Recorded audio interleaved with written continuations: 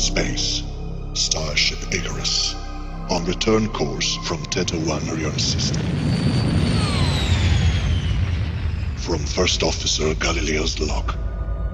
We left warp speed due to sudden appearance of star debris on our course.